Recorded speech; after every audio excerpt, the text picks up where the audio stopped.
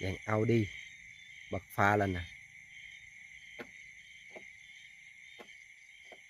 Và nếu như sử dụng cái chiếc đèn MT18X bật turbo thì nó sẽ như thế nào?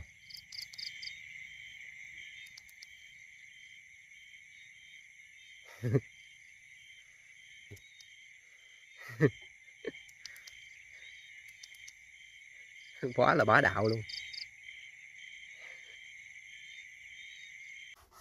Xin chào quý vị và các bạn đã đến với kênh của đèn pin công suất lớn nha. Sau bao nhiêu ngày chờ đợi thì cuối cùng con hàng mà mình mong đợi nhất nó đã cập bến rồi các bạn. Đây là chiếc đèn pin có công suất lớn nhất từ trước đến nay mà shop mình có kinh doanh. Mẫu này có tên là MT18X của hãng Matemico. À, Nó sẽ có ba màu, màu đen, màu xám và màu bạc. À, Trong đó thì màu xám và màu đen nó đắt tiền hơn cái màu bạc ha. Mình sẽ review cho các bạn xem cái phiên bản màu xám. Cái đèn pin này nó có cái quang thông lên đến 21.000 lumen nha các bạn. Nó sử dụng là 18 con led SFQ43 đây, có ghi trên đây luôn SFQ43 18 con led tầm chiếu xa của nó là 871 m nha các bạn. Khá là xa đó. Quang thông của nó là 21.000 lumen. Rồi, bây giờ tôi sẽ mở ra cho các bạn xem bên trong có những cái gì nha. Đây là tài liệu hướng dẫn sử dụng. Cái đèn pin này sử dụng cái giao diện thông minh Android UI nha các bạn tí xíu nữa thì mình sẽ à, sử dụng cho các bạn xem. Đây là cái bọc hút ẩm. Rồi đây là cái tem kiểm định gì đó của hãng. Rồi đây là cái bộ phụ kiện à, tặng kèm. Và đây là cái thân đèn pin. Cái thân đèn pin thì đặt trong một chiếc hộp vừa khích như thế này. Rồi, chỉ có vậy thôi các bạn. Không có cáp sạc cũng à, không có pin đi theo đâu nha. Rồi nhìn tổng quan thì à, các bạn thấy đây là một chiếc đèn pin được thiết kế với những cái họa tiết phải nói là rất là hầm hố. Những cái họa tiết này nhìn giống như trong phim khoa học viễn tưởng nha các bạn. Rất là đẹp. Đây là tên của sản phẩm nè. Matemico 10 MT18X cái họa tiết của nó nhìn phải nói là bắt mắt lắm luôn ở trên đây nó sẽ có những cái rãnh tản nhiệt đồng thời nó sẽ khoan xuyên thấu qua đây những cái lỗ để tối ưu cái khả năng tản nhiệt của nó nha các bạn Trước đây mình có kinh doanh một cái mẫu đèn pin cũng tương tự như thế này, có cái tên là Absolute MF01S, nhưng mà cái mẫu đó thì nó công suất nhỏ hơn cái mẫu này, 15.000 lumen thôi. Quang thông của nó chỉ 15.000 lumen và nó không có cái cổng sạc đó trên đây. Pin của nó thì sử dụng là 4 viên pin 18650, nhưng mà cái uh, dung lượng tối đa của nó chỉ được khoảng chừng 12.000 thôi, 12.000 mAh. À, còn chiếc đèn pin này thì nó được uh, tối ưu hơn rất là nhiều thứ. Thứ nhất là tản nhiệt tốt hơn à, quang thông nó lớn hơn à, tầm chiếu xa cũng lớn hơn luôn. Và cái dung lượng pin cũng lớn hơn mà đồng thời là có trang bị cái cổng sạc tai C trực tiếp ở trên đây. Và đặc biệt một cái nữa là cái cổng sạc này có thể cắm sạc cho điện thoại được nha các bạn. Các bạn sử dụng cái dây sạc tai C cắm vào đây, cấp nguồn ngược trở ra sạc cho cái điện thoại được luôn nha. Rất là tuyệt vời, rất là hay. Bây giờ à, tôi sẽ mở ra để à, cho các bạn xem cái hộp để pin của nó như thế nào. Đèn pin này thì sử dụng 3 viên pin 21700 nha các bạn. Các bạn phải lấy cái loại pin có dòng xả cao nha chứ cái pin mà dòng xả mà thấp là coi chừng đó nó nổ pin hoặc là nó sẽ chết cái viên pin luôn. Ba viên pin này sẽ có tổng cái dung lượng là 15.000 mAh nha các bạn. Nó hơn hẳn so với 4 viên pin 18650 nha.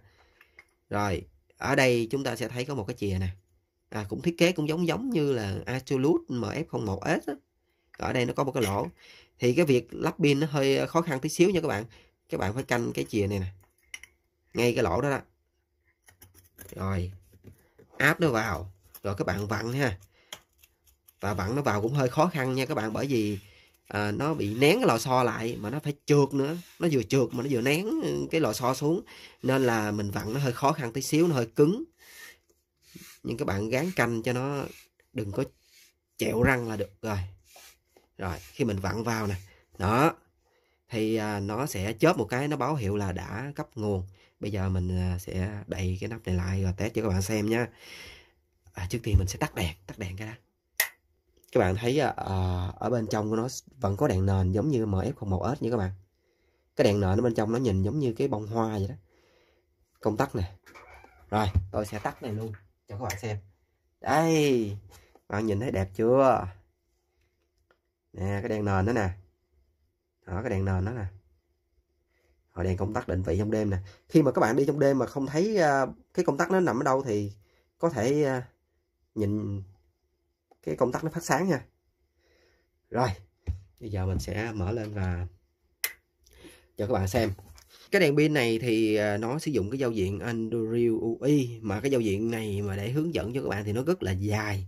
Nên là mình sẽ để trong cái phần mô tả video một cái đường link hướng dẫn cho các bạn cách sử dụng trên cái con à, đèn là MF01S thì nó cũng tương tự y chang vậy, không khác gì hết. Cách sử dụng là rất là nhiều chức năng luôn các bạn. Nếu như à, sử dụng đơn giản thì các bạn chỉ cần bật lên, rồi à, nhấn giữ để tăng giảm nó, rồi tắt đi, rồi bấm ba cái để thay đổi cái cách chuyển đổi cấp độ sáng, đó. Nè, tăng giảm vô cấp nè. Còn muốn sáng theo từng cấp thì bấm ba cái, đó đó bây giờ là từng tăng giảm theo từng cấp nè. Nó sẽ có nhiều cấp khác nhau. Đó. Nó có thể kiểm tra pin được luôn nha các bạn. Các bạn ở trạng thái off như thế này nè. Off nha nhớ là off bấm 3 lần. Đó thì nó sẽ chớp cho chúng ta biết là cái điện áp còn là bao nhiêu. Ví dụ nè 1 2 3 4 1 có nghĩa là 4,1V cái viên pin bên trong này là còn 4,1V nha. Điện áp còn rất là đầy bởi vì mình mới vừa sạc pin bây giờ mình sẽ ra ngoài mình test cho các bạn xem sức mạnh của nó trong màn đêm như thế nào nha đây là video test ánh sáng thực tế của chiếc đèn pin Matemico MT18X sử dụng 18 con led SFQ43 quang thông cực đại là 21.000 lumen, tầm chiếu xa là 871 m. Sử dụng nguồn là 3 viên pin 21700 dòng xả cao nha các bạn. Đây là cấp độ maximum nha các bạn. Maximum chưa phải là turbo nha. Nhưng ở cấp độ này mặc dù là chỉ là mới maximum, nhưng mà nó đã đạt công suất là tới 92W rồi. Dòng nó ăn là 22 A nha các bạn. Thì với cái công suất như thế này thì với dung lượng pin là 15.000 mAh thì nó có thể duy trì nguồn sáng liên tục mà tổng cộng á, mình đang nói là lý tưởng thôi nha, là tổng cộng là khoảng 40 phút còn nếu như bật lên turbo như thế này thì công suất nó là 210W nha các bạn rất là cao luôn 210W và nhiệt độ của nó sẽ tăng lên rất là nhanh nha các bạn, chỉ khoảng chừng 30 giây đổ lại thôi là nó đã nóng lên giống như là củ khoai luộc rồi. Mình cầm nó trên tay, mình tưởng tượng giống như là cầm củ khoai luộc vừa mới ra lò vậy. Và ở cấp sáng turbo này mình lấy ví dụ nha, thí dụ như nó sáng được liên tục thì nó duy trì được khoảng chừng 18 phút. Mà mình chắc chắn với các bạn là khoảng chừng 30 giây thì nó đã giảm độ sáng rồi, bởi vì nó cần phải bảo vệ con led và cái quan trọng là nó bảo vệ cái tay của các bạn các bạn cầm không nổi, nó nóng lắm nha các bạn. Mình nói trước, để nhiều khách hàng lại thất vọng khi mình nhận được chiếc đèn công suất khủng nhưng mà tại sao nó không được duy trì được lâu cái ánh sáng đó? Thì cái nào cũng vậy thôi các bạn. Cái này nó duy trì được khoảng chừng 30 giây là đã giỏi lắm rồi.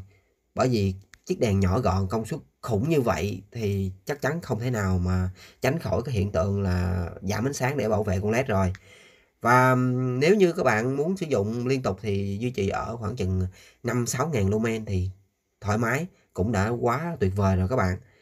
Cái này thì mình nói thật luôn, để dành cho những anh em mà đam mê ánh sáng khủng trong một khoảng thời gian ngắn, vài chục giây thì ok, tuyệt vời.